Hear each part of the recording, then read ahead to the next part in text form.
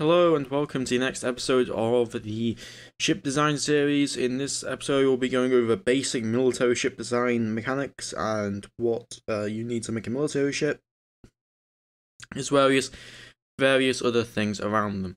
Uh, you can find uh, where I talk about ship uh, weapons, uh, specifically in the Ship Design Philosophy 101 video.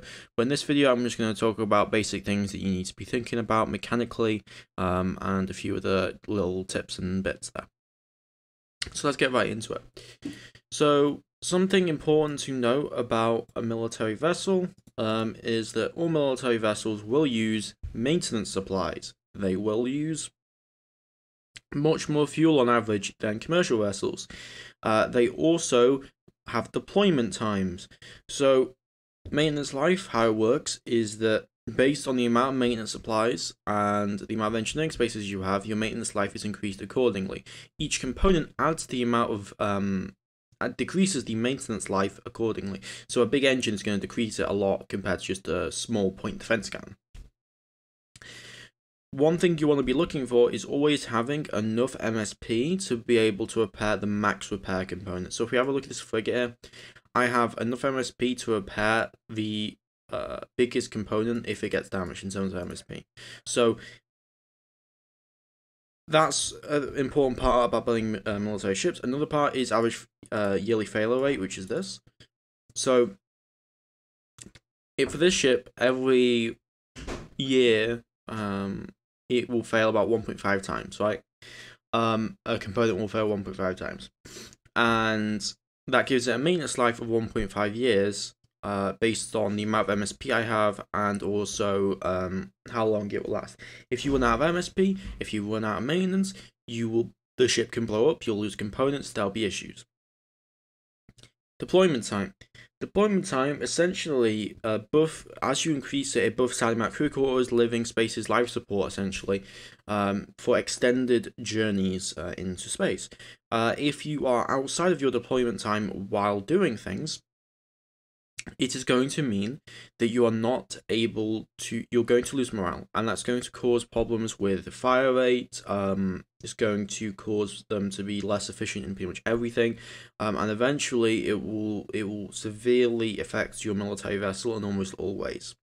So you need to plan out your deployment times on where how long your fleet's going to be deploying. And let's go for 12 months for most vessels but you can go 18 24 36 etc the next part is armor now, for commercial ships, we don't want to go over armor because armor wasn't really that important in terms of uh, protecting commercial vessels. So, armor, how armor works is we're going to quickly uh, just go over it. So, armor basically stops um, weapons from causing internal damage. So, instead of a, a weapon hitting your ship and causing internal damage within the ship, it will instead deflect uh, a certain amount of the damage and cause only a small amount to get through or none at all. So if we go into our ship organization here and I grab this, you have a look at the armor stats. So I have four layers of armor here on the ship. Um, and, and this is how it's arranged. So you'll see a damage that will go through here, damage go through here, and these will turn red accordingly.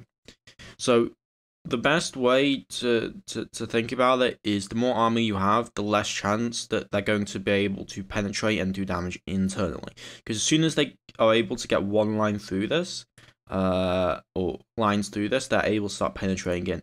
And so they will start damaging these components here. Accordingly, and it will show up here. The ship will be red, and so on and so forth.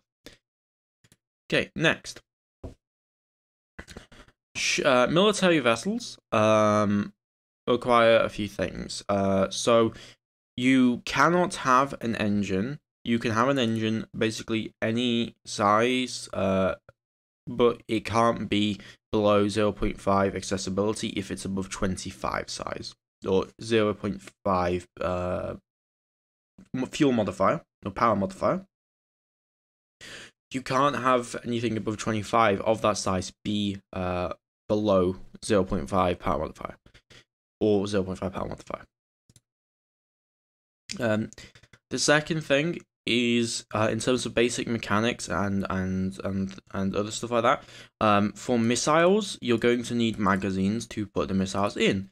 This is the ordnance tab. You can add whatever kind of ordnance you want. So for me, I added M5 Valiant. This is a missile, and that uses the ship's magazine, which is um, right here. There's the magazine.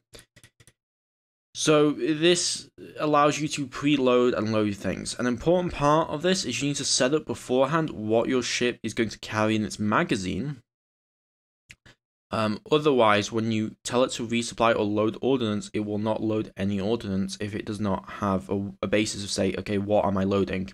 If it doesn't know what it's loading, well, it's gonna have issues. Uh, the next this is for hangars, so this is um, ships that are 1,000 tons and below that you can load within the hangar itself um, as something to think about.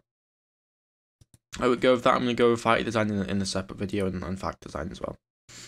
Um, a big tip here with military design is you can put a prefix here and put a naming theme, and then you can select random name, and every time you build a ship, it will name it accordingly. Massive tip for that. And over here, you can instant build ships and the like. So now we're going to go over um, a few uh, weapon systems and, and other things that I like to talk about. So um, in, in terms of point defense systems and turrets, turrets can track faster than your beam fire control can go if you increase it enough. So you could have 32,000 uh, kilometers second tracking, but you'll only be able, your beam fire control only have 16,000. Um, tracking speed basically allows you to utilize the full hit percent of that weapon against the uh, target's tracking.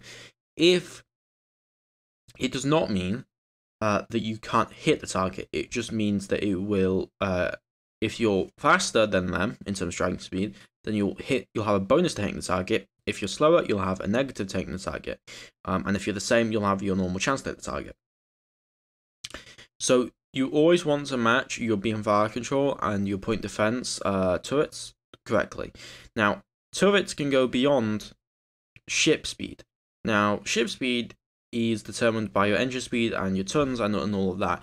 Now, if your ship speed is 4,000 kilometers a second, and you have a hull-mounted energy weapon, that hull-mounted energy weapon can only go can only track targets at the same speed as your ship is flying, no, traversing space. So if it's hull mounted, it's usually a lot worse uh, than turrets in terms of point defense because missiles will go tens of thousands of kilometers a second. And at this tech, you can't make a ship that goes tens of thousands of kilometers a second, so you can't create have hull mounted point defense that efficiently. Um, now there are some ways to counteract that by just volume of fire with railguns and other things, but that's just something to consider. The second thing, uh, or the next thing we're going to talk about is sensors. Sensors are very, very important. Your point defense sensors or your point defense needs sensors, um, and to be able to be able to properly lock onto targets.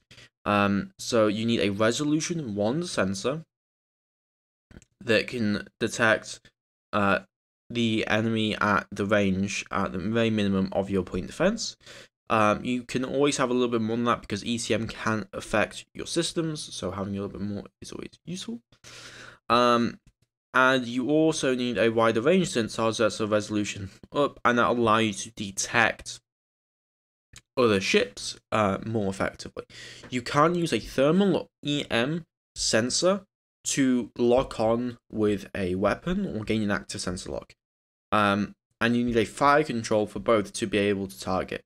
For beam fire controls, they can either target four salvos of missiles or one ship. So one fire control per one ship or four salvos.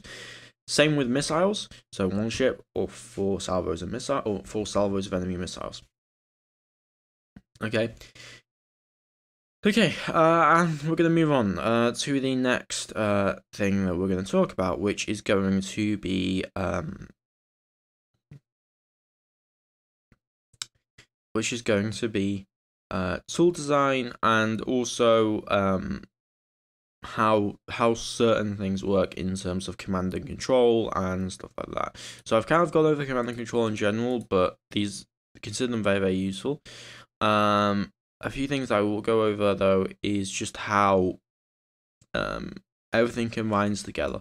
So I'm not gonna talk about per se what you should be building in terms of things, as that's more design philosophy, and I will be going over that in further videos.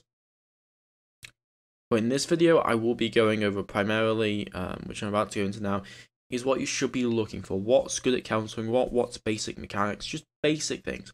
So turret, very good at dealing uh, in point defense. Um, non non turreted weapons are mainly for ship uh, engagements. Missiles, great for long range, high burst damage. Uh, uh, AMMs or anti missile missiles, very good at longer range point defense past a certain point.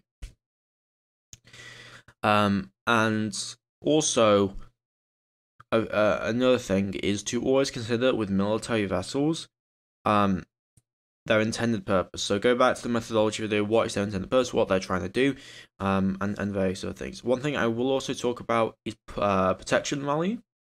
So each ship has a protection value that it provides to the system. Um, so for this ship, it provides 65.48 protection value per ship in the system to any planet that requires it.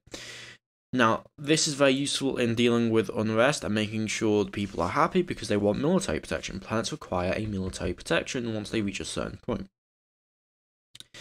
So, this PPV is based on the weapons you have, not anything else. So, if you have uh, a twin point defense counter here, it will provide X amount of PPV. I think we can actually see that. One second. Um, one thing we can here.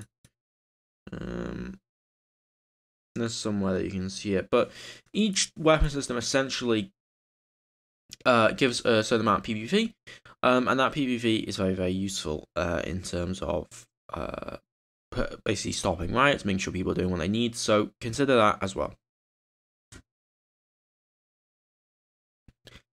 I'm now going to uh, go over just basic like glossary stuff. So, um, stuff that's in here. So, hits to kill 61. How many hits does will it will it need to sustain before it is destroyed?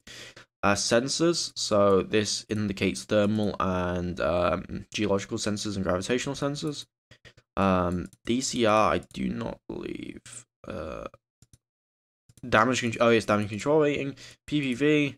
Uh, then maintenance life, maintenance supplies, uh, average fa- yearly failure rate, um, IFR, which is uh, I do not recall what these are. I apologize. I have not done my research properly, but uh, yeah. So I those are the general terms. Um, and then your magazine, your your troop transfer capacity. You have your commander, and then your abbreviations for this. Um, and then you have deployment time appropriately. Um, so there we go. Uh, that is the basic ship uh, design uh, mechanics around military vessels.